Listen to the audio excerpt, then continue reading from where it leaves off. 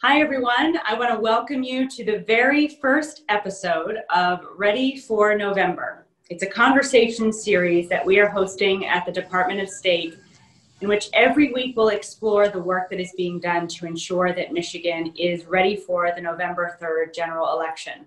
Now, here at the Department of State, we are working every day to prepare, uh, but we're not alone. Uh, democracy is a team sport, as I always say, and there are many people all around the state working on your behalf to make sure that in every corner, in every county, we're ready to go to ensure that our elections in November are safe, accessible, and secure.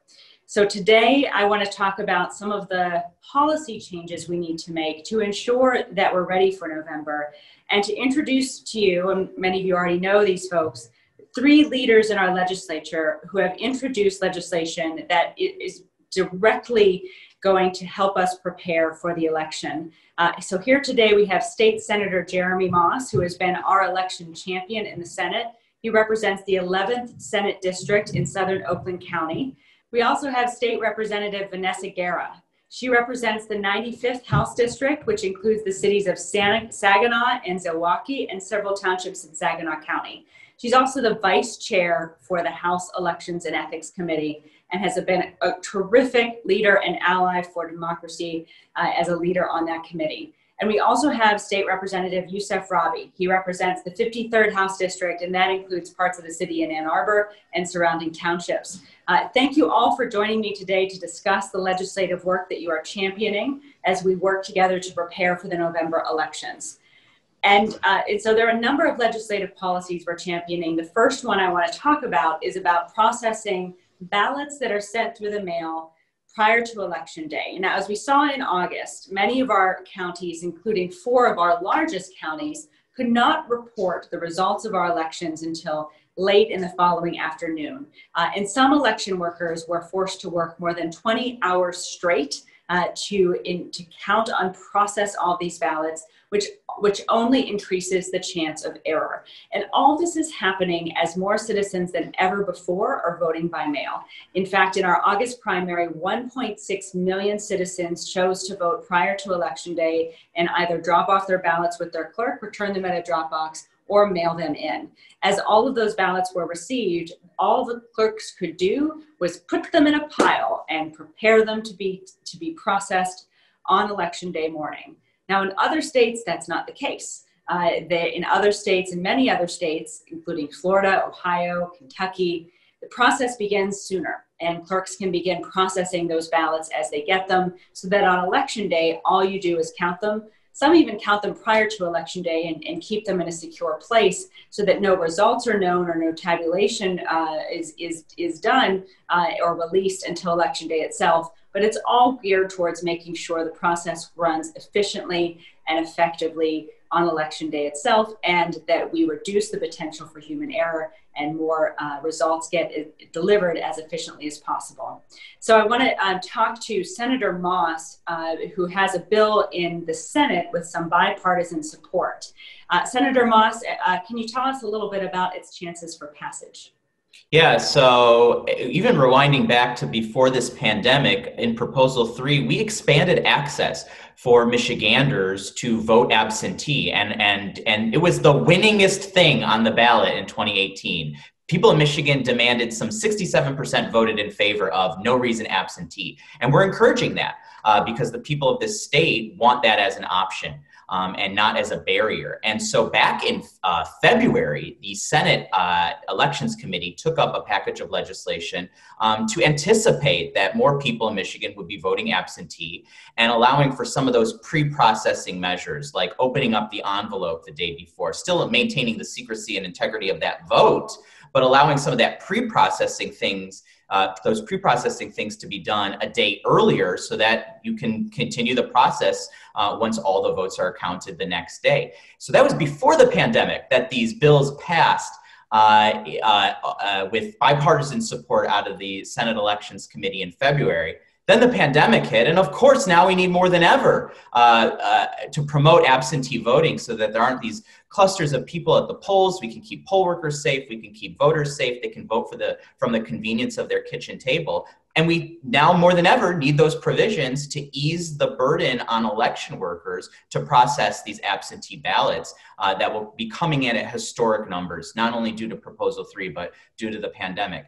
And they have moved out of committee uh, and they sit on the Senate floor unmoved. Uh, and this is something that is common sense, uh, has bipartisan support, uh, and, and we really need to enact this so we can have results as quickly and as accurately as possible. Uh, clerks around the state are, are begging for this. Uh, are asking for this uh, and are pushing for this. Uh, and so this is uh, something that should not be delayed as much as it has uh, for the entirety of this year uh, with no Senate action. So I'm, I'm, I'm counting on folks to contact their senators and push for Senate Bill 757 to get that pre processing rolling so we can get those absentee voters' uh, votes counted. And so that on election night, when the eyes of the country are on Michigan, we're able to uh, deliver our results as efficiently as possible uh, with uh, and, as effectively and accurately as possible. It's such an important policy. And Representative Guerra, I know in some of the other 18 states that do allow early processing, they allow more than one day. I mean, Florida offers more than three weeks, for example. Uh, you introduced a bill that would give Michigan clerks more time. Can you tell us about it and why it's important? Yeah, so as uh, Senator Moss mentioned, this is legislation that we had worked on again before the pandemic, recognizing there was going to be an increase in absentee uh, ballots. And so our bill would allow clerks seven days. Um, they don't have to use all seven days, it's up to their local community to decide what works best for them. And really, we started with seven days, recognizing that there'll probably be some compromise, uh, working with our colleagues on the other side to find um, happy medium for them. Um, you know, the pre processing bill that's introduced in the Senate, we would be very grateful to see that move.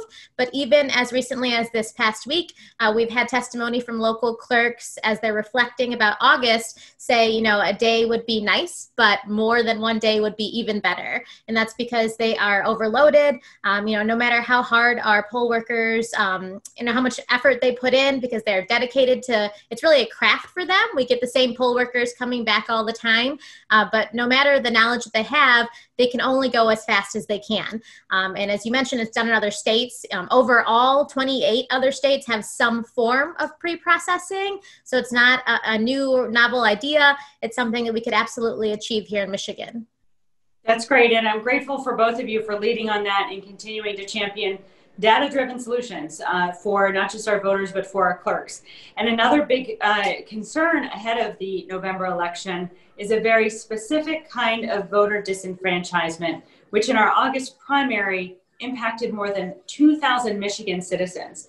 Our signature verification process, when someone mails in a ballot, is one of the ways that we secure the process of mail in voting or voting by mail or voting absentee because it allows us to confirm someone's identity. If someone signs the envelope outside the ballot, uh, that in which the ballot's returned, and that signature is then matched the signature we have on file for them. Uh, now, right now, if a ballot is returned with an envelope and there's no signature on it, or if the signature doesn't match the voter, the signature that we have for the voter on file, the clerks are not required to do anything other than not count the ballot. They're not required to follow up with someone if there's an issue with the missing ballot signature um, or if something doesn't seem to match. Now, some do voluntarily, and, and that's one of the best ways you can both ensure that we're not throwing out a ballot that otherwise should be counted, or that you're, you're uncovering any irregularities as they occur. Uh, but that said, uh, we believe if you're casting a valid vote, uh, we don't want it to get tossed because you forget to sign the envelope, especially because so many people are going to be voting by mail for the first time and may not be familiar with all the rules, um, or because your handwriting was a little sloppy or your signature has changed. Uh, Representative Rabhi, you've introduced a bill to address this issue. Can you tell us a little bit more about it? Absolutely, yeah. House Bill uh, 5991 uh, does exactly what you're talking about. This is about ensuring that every vote gets counted. And too often we have, as you said, 2,000 uh, voters just in this last election um, and with higher turnout uh, in November, hopefully, um, we may see, uh, unfortunately, even more. What we really want to do is make sure that every vote gets counted. And in addition to folks uh, simply forgetting to sign uh, their, their, ba- their absentee ballot, um, there are other instances too, I think, where you can have someone who uh, is maybe uh, elderly or has trouble seeing um, that's trying to sign the back of their ballot, um, and it just doesn't look the way that it used to look when they first signed and and that signature that they have uh, that you that you have on file uh, just may not look exactly the same. And so when those poll workers are going through uh, each of those ballots and they have to look at the match um, if there's a mismatch all my bill says is that those local clerks would notify the voters of hey there's a mismatch or hey you forgot to sign the back of your ballot. And it gives them an opportunity to then correct that signature um, and to ensure that that uh, their ballot and their vote gets counted. This is about making sure that our democracy is strong and that every single voter has a chance to cast their ballot and be counted. Uh, this is what democracy is all about, and that's what the bills that we're talking about today are all about. Uh, and thank you uh, to our wonderful Secretary of State. You've been a champion on these issues, making sure that everybody has an opportunity to vote. And it's time for the legislature to step up as well and do its part to make sure that every vote gets counted in the state of Michigan. I couldn't agree more. And we're grateful for your leadership and all of you for really championing these important changes that are really, in many ways, simply updating our current election laws to match the, the voters' demand that they be able to vote and have a right to vote by mail, which is now enshrined in our law. And uh, importantly, the expansion of that right to vote by mail, which has led to, again, more people voting by mail than ever before in our state, has also led to a number of ballots that are sent prior to election day but received after election day to not be counted because our current law says that all ballots have to be in by 8 p.m. on election day. Now that works if most people are voting in person, but when the majority of citizens are voting by mail or early, and uh, particularly if they drop their ballot in the mail on time, but for reasons that are no fault of their own, it gets delayed and is received the day after election day or the day after that it should still count. In many cases, in most jurisdictions, we're talking about just a handful of votes here and there, but the focus needs to be on making sure that every valid vote that is cast on time counts. Now, in the August primary, we saw more than 6,000 ballots rejected because of late arrivals. They were sent and postmarked prior to Election Day, but they were received the day or two after. We believe that Michigan should be a state like many others where where no voter is disenfranchised because through no fault of their own the post office is late in delivering the mail representative Guerra can you talk about what's being done to address this issue hopefully in time for november in lansing right now Yes. Uh, so our bill, uh, House Bill 5987, uh, would allow uh, clerks to accept uh, ballots that have been postmarked by Election Day but received up to 48 hours after Election Day to still be counted. So anything after 48 hours, even if it is postmarked, uh, would not be counted. And again, we just wanted to have um, some structure there because obviously we can't say, you know three weeks from now a month from now uh, we had to put in some some regulation there. And so uh, so this would help voters to ensure that their ballots are counted. Um, your office released really helpful information so that local communities can identify um, how many folks that happened to just in august. And i know i took a look at ours right away. And you're right it's not you know thousands of people in these communities necessarily um, but it is a lot of folks who you know again no fault of their own or maybe even they're new to absentee voting and didn't realize the earlier they're better just because you know they did it before election day and up you know up until now not everybody could utilize uh, absentee voting the way that they are now. And so um, again just ensuring that every vo- voice is heard and making sure that people's um, ballots are counted especially when they have followed the rules and done everything they can to make it by election day but for some reason it doesn't arrive until you know a day or two after the election. Right and now importantly uh, as we lead into november there's been a lot of uncertainty and changes in the postal service. How does that impact the need for this legislation? Yes. So, um, similar to previous legislation, again, this was something we talked about before all of the concerns around the Postal Service came up. Um, and now that we do have those concerns and really so much hesitation from folks about you know, what happens? Do I just not turn my ballot in at all if I'm, you know, a few days before the election and they don't have the means of transportation, which is a very real thing in many communities? Um, oftentimes, we're the automobile state, so people assume everybody has access to transportation, and that's not the case. Many folks rely heavily, both in our urban and rural communities, um, on the USPS, and when there are delays there, it impacts their lives not only with prescriptions and all other sorts of important things, but also um, their right to participate in our democracy. Right, and so uh, yeah, certainly as as there are political decisions being made uh, in Washington that can affect all of those things, as you mentioned, we want to ensure uh, that the the uncertainties in the postal service don't create uncertainties for our voters in any way. And so, thank you for the legislation you're championing to uh, to to make sure that doesn't happen. And you know, talking about those delays brings up another significant issue because when we talk, we're we're talking about domestic voters who choose to vote by mail, but there's also folks overseas that have really uniquely limited access to the mail right now. And yet they want to vote in, in many ways, in nearly every case, their only option is to return their ballot by mail. We can't put a drop box on every army base and in every country throughout the world. And if, even if we did, I don't know how to secure them and ensure they're accessible to all. So ensuring that ballots are able to be returned for our over, for our citizens overseas and for those serving in the military is, is something we really need to focus on for November. Um, many of you know that, uh, that I have personal experience with this with this challenge, and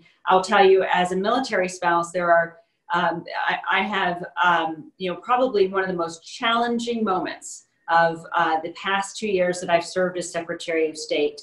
Representative Guerra was sitting uh, before your committee with and alongside military spouses and veterans testifying about a bill that would allow for the electronic return of ballots securely through a secure portal for members of the military, but not their spouses. It's to me a nonsensical delineation to say if you're a service member in the military, you can return your ballot through the electronic portal that's secure and in place in many states. But if you're married to someone and serving overseas with them, or if you're a kid, a dependent and of age, and in, ser- in serving overseas also on orders because military families all serve together. You don't have that same access. You've got to mail your ballot in. Uh, if it passed without amendment, it would be uh, the, would make it would make Michigan the only state in the country to give access to the vote more easily to military service members, but not extend that to their spouses or family members. Uh, can you tell us a little bit more about that and you know why you think that there's been so? I mean, I, you voted in support of an amendment. I think you proposed an amendment uh, to ensure spouses and their dependents were included. That was voted down by uh, the Republican members of the committee in lockstep, which was uh, something I'll never forget seeing personally, uh, and it was. Um, very disappointing. Um, but can you tell me a little bit more about why you think it, it's it's really a, a, it's not a partisan issue, but yet it was your amendment was was voted down on partisan lines? Yeah, I, you know, I always say, um, you know, we have all of these veterans events where they invite politicians to come and speak. And I think that if we're going to support our uh, men and women and families that are serving overseas, um, that we have to do that 100%. And that means in every way make their lives over there as easy um, and as really normal as we can because they're serving our country. And one way that we do that is ensuring that they're able to submit their ballots in a way that is convenient um, and secure. And so that's what my amendment would have done. Um, as you mentioned, it was not supported. Um, hoping that we can come back and convince those other colleagues of mine that this is something that's important um, because every vote matters. Um, and and frankly, you know, just the thought of what they give to our country, what they do for our country, you know, it's it's the members themselves, but also the sacrifices their family made, their families have made, um, and it would be really just a small thank you to be able to allow mm-hmm. them to participate in our democracy like every other American citizen is able to in this country. Yeah. Well, thank you for standing with our service members and their families. Uh, it means a lot. Uh, speaking as someone who has personal experience, who's from that community, uh, it, you never forget those who stand with you uh, and express their gratitude for your service in words and in actions. And you never forget those who don't. Uh, so I appreciate you being on the right side of that issue. And, and as you said, I hope that others come around and see uh, the right thing to do for our, our military service members and their families. Uh, finally, I want to mention uh, that both Representative Guerra and Senator Moss have introduced legislation to provide paid time off uh, for people uh, to serve on election day as poll workers or otherwise vote uh, on election day. Senator Moss, could you tell us a little bit more about that? And by the way, thank you for proposing that legislation. yeah, and thank you for your partnership on this one. This, again, is where Michigan lags behind. Most other states offer paid time off uh, for workers to take leave from their job during the day on election day to go vote. And I'm talking across the political divide. This is this is implemented in Wyoming and South Dakota and New York and California. Michigan is one of the very few states that does not allow working people to have time off from work to go vote. And, you know, obviously now we're encouraging people to uh, uh, utilize mail-in voting because of the pandemic, but normal times will resume. And I like to vote at the polls on election day, as do many people. And so we want to make sure that there are no barriers, that there is more access for working people to exercise their right to vote. And so this is something that uh, Representative Guerra and I have joined together with you uh, as Secretary of State uh, to propose a solution here to make Michigan uh, yet another state that joins the majority of states um, that gives a, a, little bit of, of uh, help to people who have restrictive schedules, who have an inflexibility on election day in those in those hours between 7 a.m. and 8 p.m. to tell their employer, I'm going to take a couple of hours uh, as needed uh, during election day to go to the polls and exercise uh, my right to vote. Um, so uh, voters deserve more access and less barriers to voting, and and, and providing for their family uh, shouldn't be one of those barriers. They should be able to uh, earn a paycheck make a living and also exercise their right in our democracy. Uh, and other states have figured out how to do it. Uh, and so we're just trying to get Michigan to join the growing list of states across the country that have provided this for working families. Absolutely. Uh, and thank you for your leadership on that. I think all of you are really championing this legislation, not for any partisan uh, re- reason. It's just simply what the data shows is best for all voters of all backgrounds and perspectives. And so I'm just grateful for you looking at the data and making you know solutions um, uh, to the problems that uh, have impacted our state in ways that that um, others have not. And Michigan citizens can involve themselves on these issues by contacting your legislators and legislative leaders to let them know uh, that you want these measures passed. Indeed, that is the only thing that has really moved legislation like this before when uh, voters demand it. And, uh, you know, in, in, addition to voting, the will of the people can be conveyed through a phone call or email or letter to members of the legislature. Uh, and Representative Rabhi uh, wanted to give you an opportunity to share any parting thoughts uh, on all these issues and any advice to those watching on what they can do to join you all in the effort to champion these important issues. Absolutely, and thank you, uh, Secretary Benson, again for your leadership in this uh, area. And you you said it exactly right. This is where the people of the state of Michigan can step up and demand. This is a nonpartisan issue. This is something that gets to the very core of who we are as Americans and what this democracy means to us. That's what this is about. And so when you step up and you call your state representative or your state senator, or frankly, when you call your aunt or uncle who you may not have talked with in a little while, uh, who maybe lives in a different part of the state, who maybe thinks a little bit differently than you. Call them up, have a conversation about how important democracy is to you, and encourage them to contact their senators and their representatives and ask them to, uh, to make a call to their elected officials to make sure that their voices are being heard uh, so that all Michiganders have the right and the ability to cast a vote in a fair and safe election. We need to stand behind our fantastic Secretary of State, but more importantly, we need to stand behind our democracy and the people of the state of Michigan to make that happen. So, thank you again, Secretary Benson, for all your fantastic work, and to my two colleagues, uh, Senators Moss and Representative Guerra. You're amazing and you're doing good work. And I'll hand it back over to you, Secretary Benson. Thank you, Representative, uh, and thank you for joining us from the great outdoors. So, true Ann Arbor representative. Um, and that brings us to the end of our first show. I want to thank all of you, uh, Senator Moss, Representative Guerra, Representative Rabhi, for taking time to join me for this important discussion and for all the work you're doing and have done throughout your careers to ensure that every vote counts, that every voice is heard, and for working with me and on behalf of voters all across the state to ensure that we're ready for November. Uh, thanks again. And everyone, if you're not already following our great leaders, uh, legislative leaders on Twitter and social media, please do. Uh, and don't forget to vote this fall. Thanks, everyone.